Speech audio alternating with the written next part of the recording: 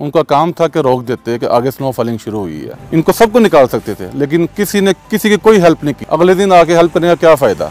अगले दिन तो हर बंदे ने अपनी हेल्प आप कर लेनी थी। सबको पहले बताया हुआ था कि यहाँ पे ये है, लेकिन जो यहाँ पर लोग आए और वो डिफरेंट ऐसी जगहों पर जाकर स्टक हुए, जहाँ पर हमें पहुँचते पहुँचते, और जो है अपना टाइम लगा। यहाँ पर सिर्फ़ 20 लोग थे जिनको जो है वो अल्लाह जो उनकी जो है फरमाए, लेकिन यहाँ पे चालीस से ज़्यादा लोग स्टक थे जिनको हमने निकाला।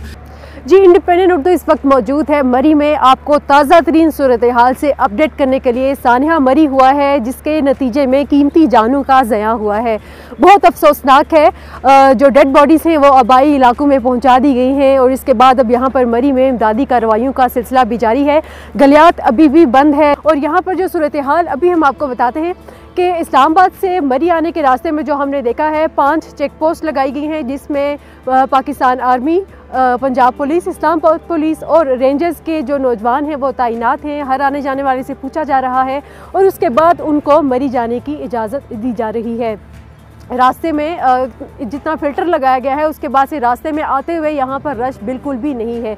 जबकि इस, इसके अलावा जो इमदादी कार्रवाइयाँ हैं बर्फ़ हटाने का काम सड़कों से जारी है। कुछ अफराद की गाड़ियाँ अभी भी बर्फ़ के मलबे में दबी हुई हैं जिसको निकालने का काम जारी है। कुछ लोग अपनी गाड़ियों को यहीं पर छोड़ के आधे रास्ते से वापस हो लिए थे तो वो लोग भी यहाँ पर मौजूद हैं अपनी गाड़ियाँ वापस लेने के लिए। हम लोग इस्लामाबाद से आ रहे थे। तकरीबन हम एक डेढ़ बजे से इस्लामाबाद से निकले हैं। रात को नौ, साढ़े नौ बजे तक यहाँ पहुँचे हैं। तो यहाँ पे स्नो फॉलिंग शुरू हुई थी, तकरीबन कोई शाम को सात बजे के करीब कहते शुरू हो गई थी। हमसे कोई घंटा, डेढ़ पहले। तो पुलिस वालों को चाहिए था कि नीचे हमें आगे आने ना देते। वो फिर रहे थे हमें। उनका काम था कि रोक देते कि आगे स्नो फॉलिंग शुरू हुई है।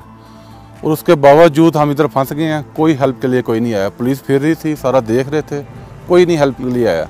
उनको चाहिए था फिर भी हेल्प करके हमें वापस निकाल सकते थे। गाड़ियों के पीछे रोक के मूव कर सकते थे।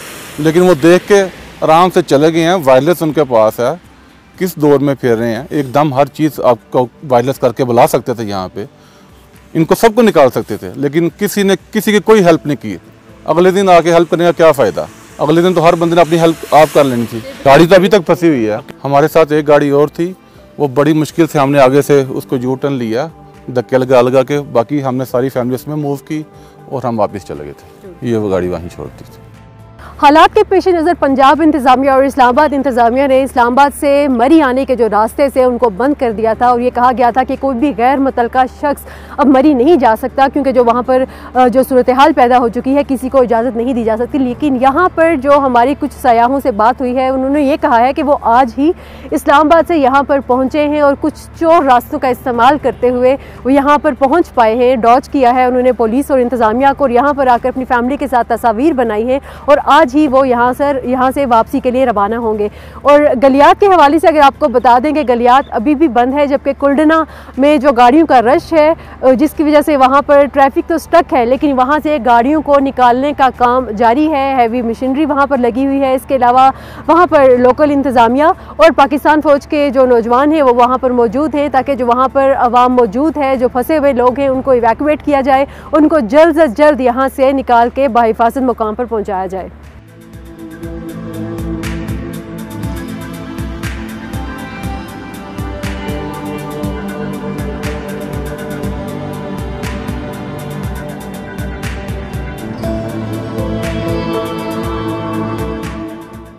हम जनाब अपने कंट्रोलर असिस्टेंट कमिश्नर कोहटा के ऑर्डर पर यहाँ पे आए और कल से इस वक्त तक तकरीबन हमने दस हज़ार लोगों में जो है ये माल तकसीम किया है। तो इन जब भी ज़रूरत पड़ी, कौम को तो हमारे जो कोहटा के रजाकार हैं, वो इसी तरह खदमात सर अंजाम देंगे।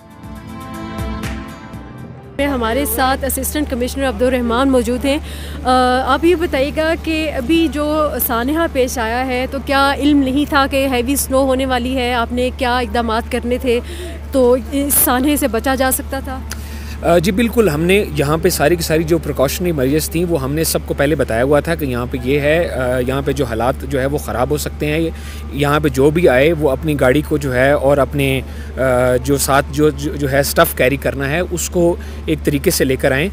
और ये सारी चीज़ें यहाँ पर जो है वो मौजूद थी लेकिन जो यहाँ पर लोग आए और वो डिफरेंट ऐसी जगहों पर जाकर स्टक हुए जहाँ पर हमें पहुँचते पहुँचते और जो है अपना टाइम लगा और वहाँ पर जाकर जो लोग जो जो, लोग वहाँ पर फंस भी गए स्टक भी हो गए। हमने उनको भी कहा कि अगर आप स्टक हो गए हैं तो जस्ट लीव योर कार हम आपको रेस्क्यू करते हैं। तो बस इस तरह की जो है वो चीज़ों की वजह से वो लोग वहाँ पे स्टक रहे और ये सानिया हुआ जो कि बड़ा अनफॉर्चुनेट था और जिसको बचाने के लिए। यहाँ पर सिर्फ़ 20 लोग थे जिनको जो है वो अल्लाह जो उनकी मख जो है फरमाए, लेकिन यहाँ पे चालीस हज़ार से ज़्यादा लोग स्टक थे जिनको हमने निकाला और चार दिन से हमारी टीम्स जो हैं वो हमारे डिप्टी कमिश्नर और कमिश्नर और आरपीओ और सीपीओ साहब की जो है वो निगरानी में।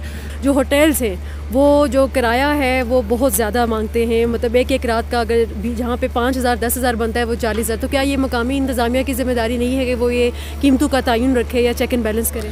जी बिल्कुल इसके ऊपर काम जारी है ऐसा नहीं है कि नहीं है। हम इसके ऊपर काम कर रहे हैं और इन ताला इसके जो है वो अपना फ्रूटफुल जो आगे जो आगे नतज होंगे हमारी मीटिंग्स भी हुई हैं इनके साथ जो जो एसोसिएशन है। यहाँ पे बहुत ज़्यादा लोग फंसे हुए थे यहाँ से जिका गली तक। तो वहाँ यहाँ से हमने मशीन वगैरह लगा के फिर उनको ऊपर से मस वगैरह से जो नाश्ते थे पराठे वगैरह पानी वो चीज़ें दी और लोग बहुत ज़्यादा डरे हुए थे। तो फिर आहिस्ता आहिस्ता करके हमने जो उनको निकाला, मशीन लगा के एक एक गाड़ी करके तो हमारे काफ़ी सारे बंदे थे।